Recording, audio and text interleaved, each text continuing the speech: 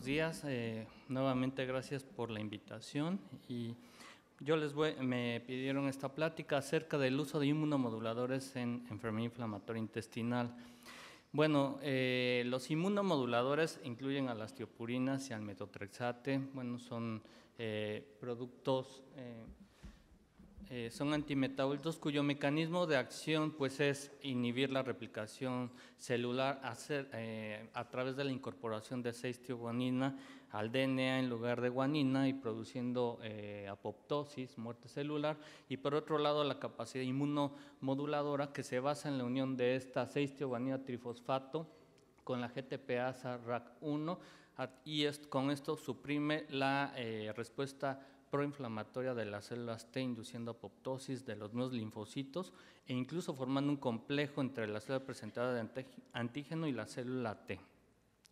Dentro de la historia, pues bueno, esta molécula fue descrita por Elion y Hitchins en la década de los 50 para el tratamiento de la leucemia en niños y con ello recibieron el premio Nobel en 1988. En 1962 fue tratado el primer paciente con enfermedad inflamatoria eh, con tiopurinas y los primeros estudios publicados fueron en los 70 acerca del uso de azatioprina en pacientes con enfermedad de Crohn. Eh, ya en los 80 se publicó el primer estudio acerca del uso de 6-mercaptopurina en, pacientes con enfermedad de Crohn. Y bueno, el metabolismo de, las tiopurinas está basado en que, bueno, eh, uno le da a los pacientes azatioprina, se convierte en un 90% en 6-mercaptopurina en el cuerpo y hay varias enzimas, la tiopurinmetiltransferasa que eh, eh, transfiere o produce la 6-metilmercaptopurina, la jantinoxidasa, el ácido y otras, la hipojantinfosforibosiltransferasa que produce la 6-tioganina, que bueno, finalmente es el metabolito eh, en, estos pacientes para la inmunomodulación. Y el uso de inmunomoduladores depende de la proactividad del médico y esto se ha visto que vean eh, dependiendo de los diferentes cortes de año en etapas recientes pues ha eh, usado cada vez el uso de, este tipo de tratamientos en los pacientes. Hay varias recomendaciones para el uso de tioprina. Uno, en, el mundo ideal sería medir la actividad de la metiltransferasa. Eso ideal digo porque en la mayoría de los países de Latinoamérica no contamos con la medición y entonces en el escenario sería si un paciente tiene nula o baja actividad de la metiltransferasa estaría contraindicado dar tiopurinas. Una actividad intermedia sería usar el 50% de la dosis y una actividad normal podríamos eh, usar las dosis convencionales de 1 a 1.5 miligramos kilo al día para 6 mercaptopurina o de 2 a 3 miligramos kilo al día para azatioprina. Eh, otra eh, sería hacer la estrategia empírica de dosificación de tiopurinas ante la ausencia de medición de la actividad de la metiltransferasa, que es lo que hacemos nosotros, es iniciar azatioprina a 50 miligramos al día o 25 miligramos al día de 6 mercaptopurina y esta dosis se va incrementando gradualmente cada dos semanas hasta llegar a la dosis requerida por kilo de peso. Es muy importante la monitorización estrecha con biometría hemática y pruebas de función hepática en las primeras 12 semanas y esta se establece que eh, cada semana, en el primer mes, cada, cada 15 días por dos meses, después cada mes por dos meses y finalmente a largo plazo cada tres meses. Eh, es también recomendable eh, a los pacientes que, usen bloqueador solar y sombreros, así como la eh, revisión anual por dermatólogo por incremento de cáncer de piel tipo no melanoma, realizar citología cérvico-vaginal anual, eh, vacunar a los pacientes con virus, virus atenuados al menos un mes previo al inicio de inmunomoduladores y monitorizar los metabolitos de las tiopurinas de 6 a 8 semanas después de haber iniciado la terapia en el mundo ideal. Eh, vamos a ver la eficacia o la evidencia que en cuanto a la eficacia de las tiopurinas en enfermedad inflamatoria intestinal. En este metaanálisis eh, se muestra cómo eh, el efecto de las tiopurinas como inducción a la remisión en pacientes con enfermedad de Crohn realmente no, no es, tiende hacia la significancia, sin embargo, eh, incluye la unidad y eh, no es significativo. Eh, en relación al uso de tiopurinas como ahorrador de esteroides, Aquí hay una tendencia en este metaanálisis publicado en el 2015, sin embargo se observa cómo en un año después en otro metaanálisis, incluyendo más estudios, sí hay un efecto real de ahorrador de esteroides en pacientes con enfermedad de Crohn. Eh, en cuanto al cierre de fístulas, no se observó una ganancia, el uso de, de tiopurinas, y, vean cómo también la, tasa de eventos adversos en este metaanálisis pues se incrementa 2.5 veces, aunque eh, el intervalo incluye la unidad y eso no le confiere significancia estadística. Por otro lado, las tiopurinas en el mantenimiento de la remisión para enfermedad de Crohn, bueno, en este metaanálisis se observa, eh, eh, mm, analizando todos estos estudios que ustedes ven aquí, cómo si existe eh, una utilidad de las tiopurinas en el mantenimiento de la remisión en pacientes con eh, enfermedad de, Crohn. Eh, y vean cómo también los e, eventos adversos en el mismo mantenimiento en los pacientes pues, se incrementan discretamente a un riesgo de 1.29. Por lo tanto, pues tenemos que estar alerta, como vamos a ver más adelante, eventos adversos. En relación a la eficacia de la satiopenia en pacientes con Crohn que ya eh, respondieron en, este estudio, eh, eh, fueron aleatorizados a recibir, a continuar con asatioprina o les daban placebo y se ve drásticamente cómo el grupo que recibe placebo después del tercer mes de que estaban con una adecuada respuesta, pues eh, tiene una tasa eh, de, recurrencia de la enfermedad del 93% versus solamente el 42% eh, de los pacientes que se mantenían en remisión. Entonces, esta diferencia fue significativa, lo cual significa pues que hay que continuar este tipo de tratamiento en en los pacientes con enfermedad de Crohn. Por otro lado, otro estudio eh, también evaluó eh, el inmunomodulador eh, en pacientes con enfermedad de Crohn. Aquí eran pacientes que ya al menos llevaban tratamiento con azatioprina tres años y después los aleatorizaron para unos continuar con azatioprina y otros con placebo y vean cómo la tasa de recaída es tres veces más en aquellos que reciben placebo en este estudio, eh, el ASTEC, eh, en donde se observó que el uso eh, temprano de azatioprina no es más efectivo que el placebo. Vean cómo las curvas se comportan igual. Aquellos pacientes con enfermedad de Crohn al reciente inicio que les inician azatioprina, pues no eh, eh, es igual al grupo placebo. Lo único que se mostró en el, estudio, en el análisis post-hoc de este estudio es que sí prevenía la recurrencia de enfermedad de Crohn moderado a grave. En relación al uso de tiopurinas en la inducción de la remisión en pacientes con CUSI, en este metaanálisis ya viejito de hace 10 años, no se observa un papel en cuanto a las tiopurinas como inductores de la remisión y eso lo sabemos por su mecanismo de acción lento que tarda al menos este, de 8 a 12 semanas en empezar a hacer acción hasta 6 meses.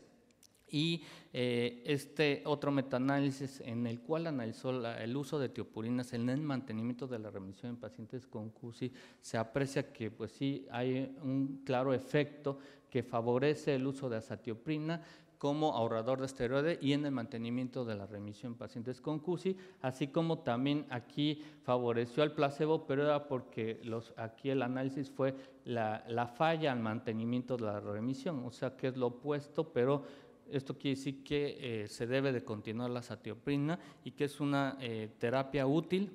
en el mantenimiento de la remisión en pacientes con CUSI. Que en cuanto a, un metaanálisis, en cuanto a la prevención de recurrencia postquirúrgica, realmente son superiores al grupo placebo, sin embargo, pues a la recurrencia un año para evitar la recurrencia solo es del 13%, un número necesario a tratar de 7 y para la recurrencia endoscópica un 23%, con un número necesario a tratar de 4 de acuerdo a este metaanálisis de hace 10 años.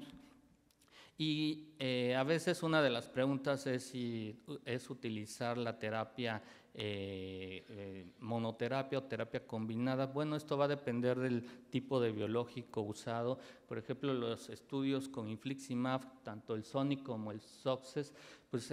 demostraron en ambos estudios que la terapia combinada es superior a la monoterapia de azatioprina y a la monoterapia de infliximab. el digamos que el aspecto aquí importante es que eh, disminuye, uno de los aspectos es que disminuye la inmunogenicidad.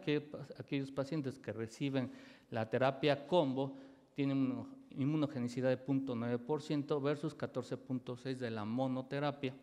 Y eh, por otro lado, en el otro estudio SOCCES, 3% de inmunogenicidad contra 19%. Entonces hay impacto. En otro estudio, el estudio Diamond, que se hizo en Japón, en donde ellos compararon el, tratamiento combinado eh, adalimumab con azatioprina versus adalimumab, no vieron diferencias en cuanto a la remisión clínica, pero sí en cuanto a reducir la inmunogenicidad en el, en el grupo de tratamiento combinado 4 versus 13.2%. Y bueno, no hay estudios a la fecha publicados en cuanto a vedolizumab y ustekinumab como terapia combo. Sin embargo, en los análisis post-hoc de estos estudios de los Gemini 1, 2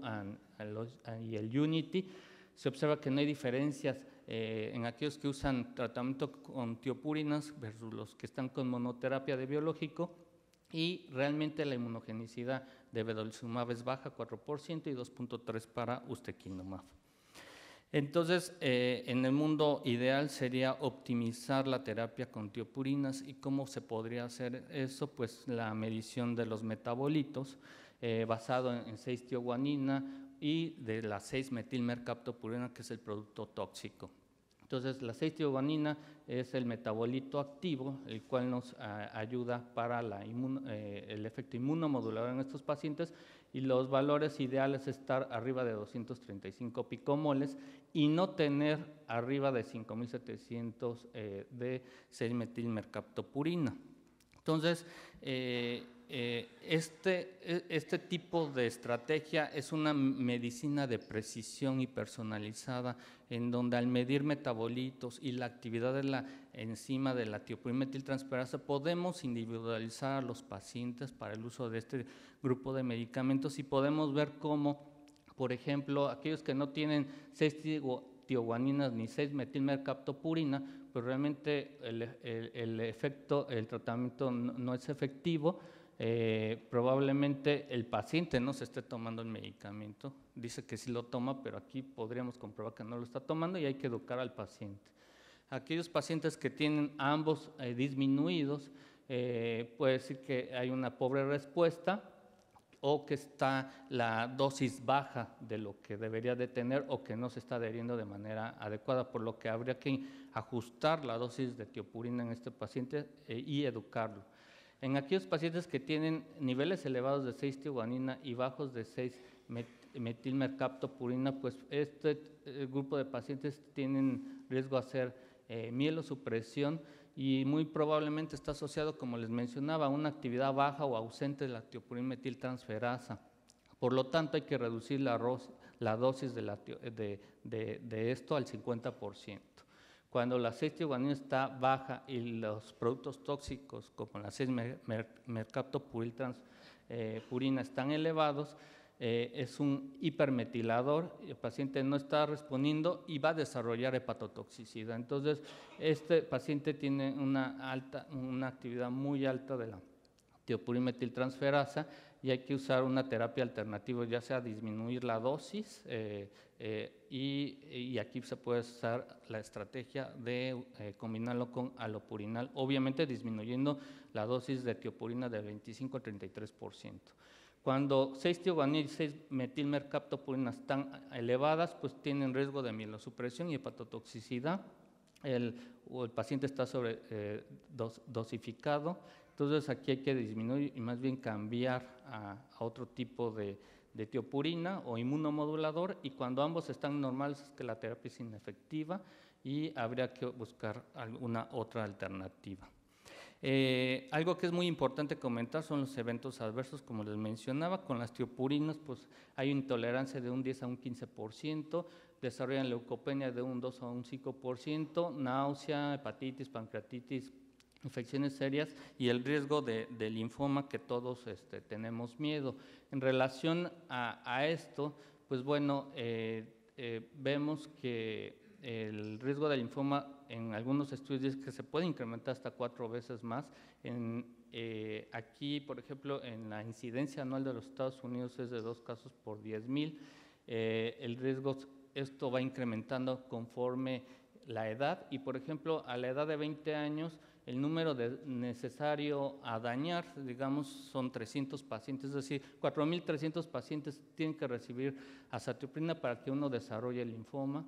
y a la edad de 70 solo 350 pacientes son tratados para que uno desarrolle el linfoma. Entonces, realmente sí la edad impacta en cuanto al desarrollo de este tipo de, el desarrollo del linfoma y el otro aspecto es el linfoma hepatoesplénico en donde se ha visto en hombres adultos eh, jóvenes eh, realmente 16 casos con, con tiopurinas. En 20 casos está asociado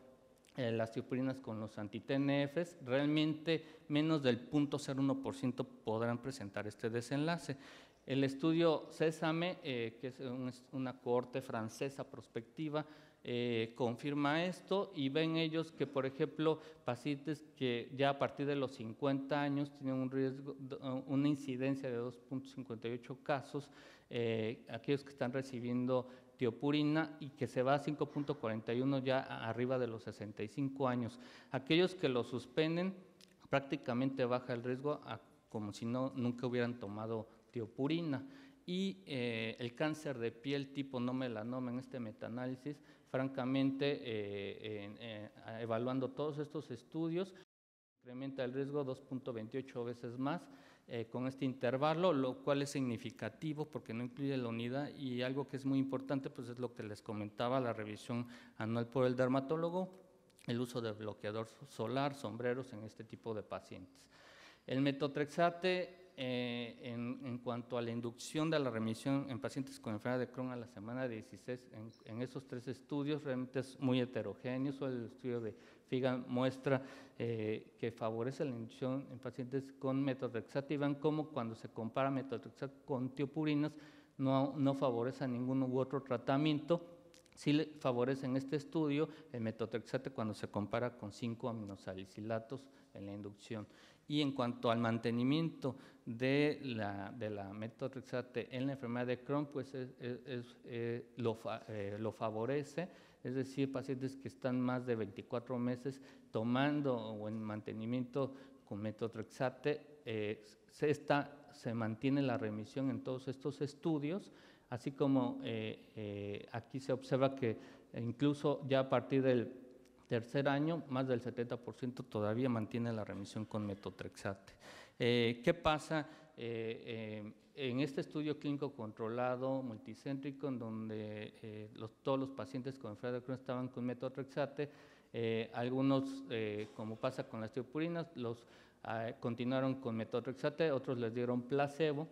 y se vio que, bueno, como la, tasa de recaída es mucho más pronunciada en pacientes en donde se suspende metotrexate comparado con los que continúan con una diferencia significativa en, ambos grupos. Y este pues es otro estudio en el cual muestra que aquí incluyeron pacientes tanto de Crohn como CUSI y van como tras la suspensión de metotrexate realmente a los seis meses ya el 42% solamente estaban en remisión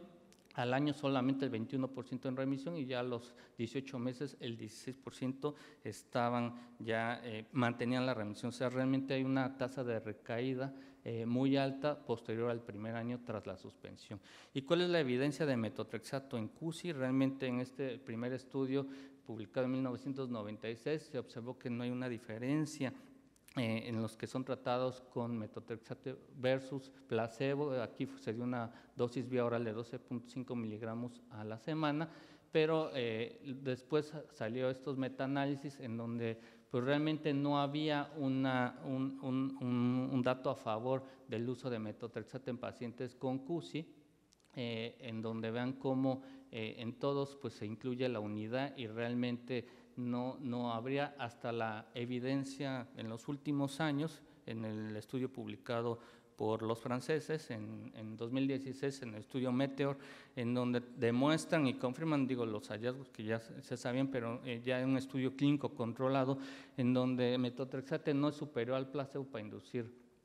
la, la, remisión eh, libre de esteroides, y van como aquí no hay una diferencia. Aquellos pacientes que reciben metotrexate contra placebo, realmente eh, la diferencia es 12 puntos porcentuales, con una diferencia no significativa, ni tampoco para la cicatrización mucosa, a excepción de la remisión clínica, en donde fue una P marginal, en donde apenas alcanzó significancia eh, para, para la remisión clínica en estos enfermos. Sin embargo, en un estudio realizado en los Estados Unidos, eh, el estudio Merit, el cual eh, demuestra y confirma que el metotrexate no es superior tampoco al placebo en mantenimiento de la, eh, de la remisión en pacientes con CUSI. En este estudio clínico controlado, todos los pacientes recibían metotrexate 25 minutos subcutáneos eh, por 16 semanas, los respondedores, que fue el 51%, los aleatorizaban a recibir eh, metotrexate o placebo. Y ven cómo las tasas de recaída son muy similares a ambos grupos de tratamiento eh, a largo plazo. en ese mismo estudio, vean los desenlaces en cuanto a cicatrización mucosa, la esteroide libre de esteroides, ninguno resultó con significancia estadística, por lo tanto, pues el metotrexate no parece tener un papel relevante en pacientes con CUSI. Vean la eh, alta tasa de eventos adversos como náusea, vómito, fatiga, malestar, eh, o que puede alterar las PFH hasta un 10%, neumonitis en un por ciento, y algo que debe ser muy cuidadoso es el aspecto teratogénico, eh, porque si son tomados en adultos jóvenes, hay que suspender este tipo de tratamiento al menos tres meses previo a la concepción y también puede incrementar el riesgo de infecciones. Y finalmente, pues bueno, eh, comentarles que bueno, pueden consultar también eh, el consenso de la PANCO, en donde también hace recomendaciones al uso de, inmunomoduladores, tanto tiopurinas como metotrexate en pacientes con enfermedad inflamatoria intestinal. Y con esto me permito concluir que el uso de inmunomoduladores eh, continúa siendo parte del tratamiento en pacientes con enfermedad inflamatoria intestinal que las tiopurinas carecen de eficacia en la inducción a la remisión en pacientes con estas dos patologías. Las tiopurinas son útiles en el mantenimiento de la remisión, eh, especialmente como ahorradores de esteroides en, en ambos grupos de pacientes. El uso de metotrexate es de utilidad en la inducción y mantenimiento de la remisión en pacientes con enfermedad de Crohn y que eh, metotrexate no tiene ninguna eficacia ni en la inducción ni mantenimiento en pacientes con CUSI y que es muy importante estar vigilando de manera estrecha a estos pacientes, sobre todo con el fin de detectar algún evento adverso como los que les acabo de comentar. Eh, ya finalmente nada más les quiero comentar que bueno, de un estudio que estamos haciendo a través de la Panco de Pilata, Hoy traemos un póster en donde pues, han participado estos países, Cuba, México, Perú, Puerto Rico, República Dominicana, Uruguay y Venezuela, y se van a presentar 1.473 pacientes y, a, la fecha tenemos ya 1.621 pacientes, por lo que se puede invitar al resto de los países como Argentina, Brasil, Chile, Colombia, Costa Rica, El Salvador, Honduras, Nicaragua y Panamá para que puedan ser parte de este proyecto. Muchas gracias.